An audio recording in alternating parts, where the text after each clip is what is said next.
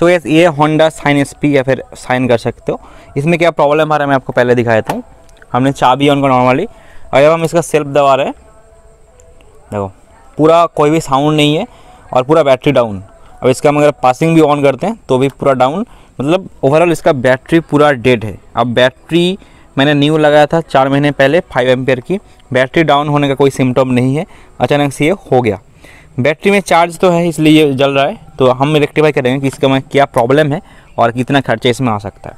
तो first of all हम क्या करेंगे, जब भी ऐसा प्रॉब्लम आए, पहले बार आपको चेक करना पड़ा बैटरी तो हम इसको को ऑफ़ करते हैं और इसका हम सीट ओपन करेंगे पहले। फ़र्स्ट स्टेप आपका होगा, आप इजीली रेक्टिफाई कर सकते हो। तो आप इसका सीट ओपन कर लीजिए। यहाँ से सीट खुल जाता है गाइस तो हमने सीट ओपन कर लिया। और इसके बाद हमको बैटरी, पहले first of all battery check करना है, क्योंकि बैटरी का ही इशू है। मैं ये हर गाले गाड़ी के लिए बोल रहा हूँ, चाहे आपके पास पल्सर हो, चाहे आपके पास कोई सा ही बाइक हो प्रोसेस सेम रहने वाला आपको ढूंढना है कि बैटरी बॉक्स आप मतलब कहाँ पे है। तो प्रोसेस तरीका सेम होने वाला है। तो इसमें रहता है दस नंबर का बोल्ट और इसको हम ओपन करेंगे। और इसमें एक, ये अंदर स्क्रू रहता है, इसको ज़्यादा खींचे रहेंगे नहीं, इसमें स्क्रू रहता है। तो आपको स्टार टाइप का जो स्क्रू ड्राइवर है, इसका रिक्वायरमेंट है। और यहाँ पे स्क्रू ओपन कर लीजिए।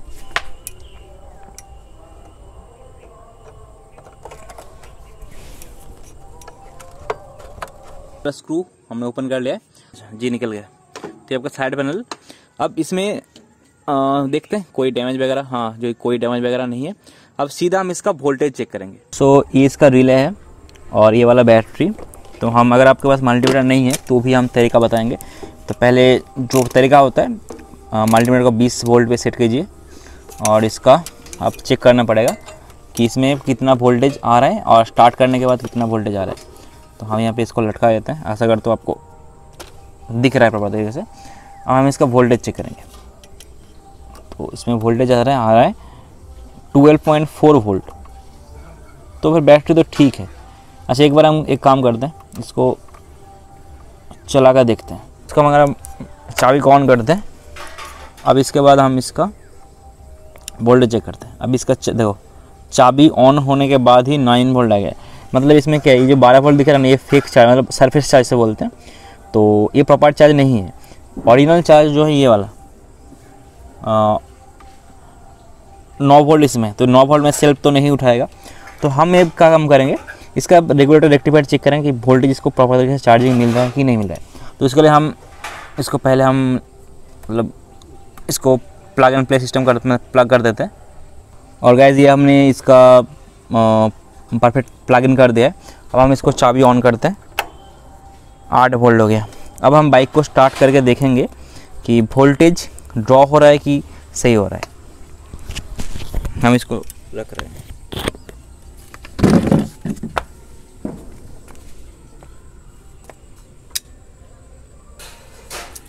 अभी अपने जब सेल्फ मारा है। देखो क्या हालत हो रहा है। सेल्फ नहीं रह रही।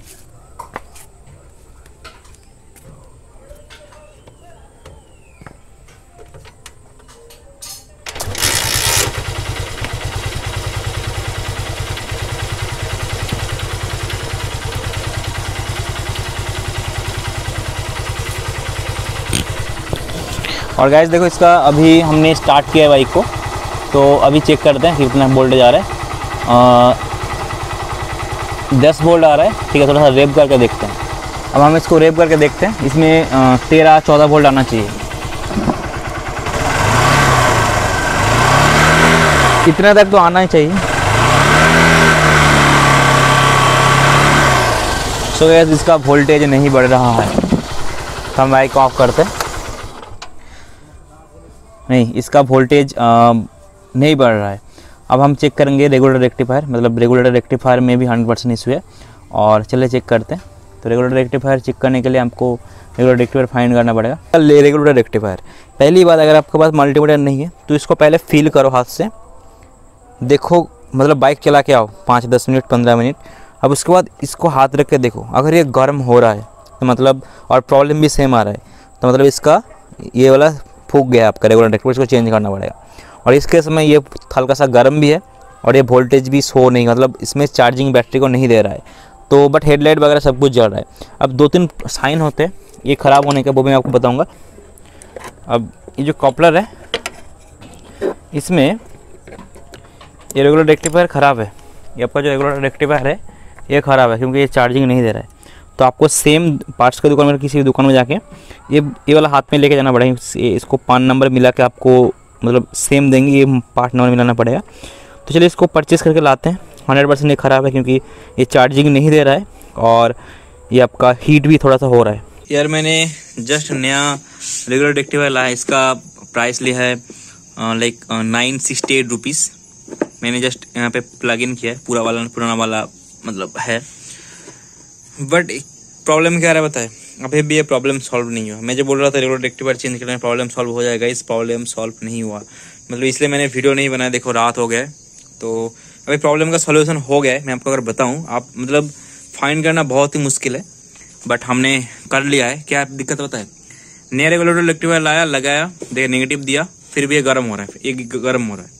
और अगर वोल्टेज में आपको चेक करवाऊँ वोल्टेज में आपको चेक करवाऊँ, यहाँ पे बैटरी अच्छा यहाँ पे सॉरी अगर मैं आपको वोल्टेज चेक करवाऊँ तो बैटरी का वोल्टेज अभी दिखा रहा है, देखो nine point one eight volt two three volt तो अभी भी चाबी को ऑन करते हैं?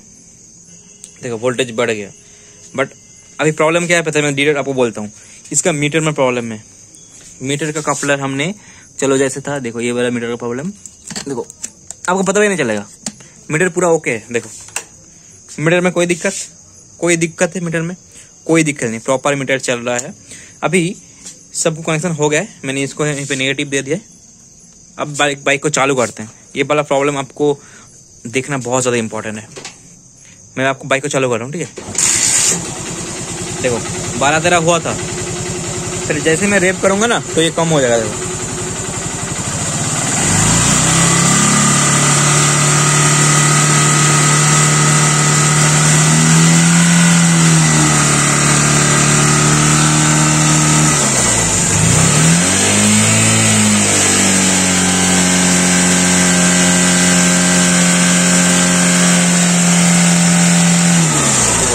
मैंने कितना भी रेप किया इसको बट फिर भी ये दस ग्यारह से ऊपर जा ही नहीं रहा। अब मैं अगर छुके देखूँ, जी ये गर्म हो रहा है। अब मैं आपको एक मैजिक दिखाता हूँ, देखो। ये वाला मीटर चालू है। मीटर का हम जो कपलर है, इसको निकाल देते हैं प्रॉपर तरीके से। ठीक है? अभी चलो वोल्टेज मैं आपको चेक करवाता हूँ। देखो, आपके सामने है। वोल्टेज चौदह पॉइंट हुआ, और जैसे मैं आपको रेप करता हूँ, जैसे मैं आपको रेप कर रहा हूँ, देखो।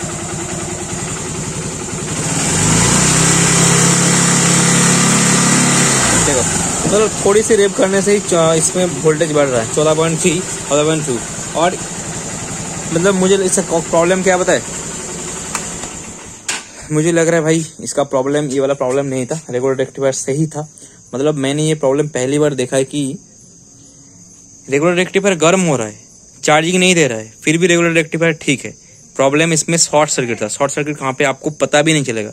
मैंने ये वाला कपड़ा हटा कर देखा प्रॉपर तरीके से। सारे कपलर हटा के देखा कि अगर कहीं पे शॉर्ट होता है तो इसमें बैटरी का वोल्टेज ड्रॉप करेगा। बट नहीं, कोई प्रॉब्लम नहीं मिला। दो तीन, दो घंटे से मैं इसमें लगाऊँ फाइनल इसका प्रॉब्लम सॉल्व हो गया है। मतलब सॉल्व नहीं हुआ प्रॉब्लम फाइंड कर लिया हमने। इसका मीटर का जो आईसी होता है, मुझे लग रहा है कि मीटर ओपन करना पड़ेगा, मैं आपको नेक्स्ट वीडियो बताऊँगा। मीटर चलेगा। मीटर का आईसी खराब होने से भी आपका मीटर चलेगा, कोई दिक्कत नहीं। बट स्टिल मीटर का आईसी खराब होने से मीटर शॉर्ट होता है। शॉर्ट होने से वोल्टेज मतलब ये वाला चीज़ गर्म होगा और आपका वोल्टेज बढ़ेगा ही नहीं। ठीक है? तो मुझे आज आज तो रात हो गया तो मुझे आज विदाउट मीटर ही चलाना पड़ेगा बाइक और इसको मैं, मुझे लग रहा है पुराना वाला जो ये वाला, पुराना वाला था, वो भी मैं लगा के चलाऊँगा। अब देखते हैं, अगर दो तो एक घंटा चलाने के बाद अगर सेल वगैरह सब कुछ चार्ज हो जाती है तो मतलब हंड्रेड परसेंट मैं श्योर हो जाऊँ कि मीटर का ही प्रॉब्लम है। नया जो रेगुलर है इसको, इसका अभी भी गर्म है। इसका प्राइस मुझे बड़ा नाइन सिक्सटी एट रुपीज़ मैं आपको अगर प्रिंट दिखाऊँ नाइन सिक्सटी एट रुपीज़ यहाँ पे लिखा है। तो मुझे लग रहा है कि ये वाला मेरा वेस्ट हो गया। बट स्टिल कभी ना कभी तो खराब होगा, और उसका मैं चार्ज अभी मेरे पास पड़ा रहेगा, कोई दिक्कत नहीं। बट इसका मीटर रिपेयर करना पड़ेगा।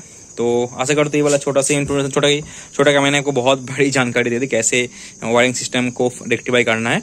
तो अगर प्रॉब्लम स्टिल हो रहा है तो आप मैं भी शॉर्ट सर्किट होगा तो आशा कर इसको मैं पैकिंग करता हूँ, मिलते हैं नेक्स्ट कल कल वाले वीडियो में। तो तब तक बाय बाय जय हिंद बंदे मात्र ये वाला लोचा हो गया मेरे साथ मीटर मुझे खोल कर देखना पड़ेगा। इसका भी वीडियो आएगा जल्दी। तो चलो नेक्स्ट बाय बाय जय हिंद बंदे मातरम। भारत माता की जय।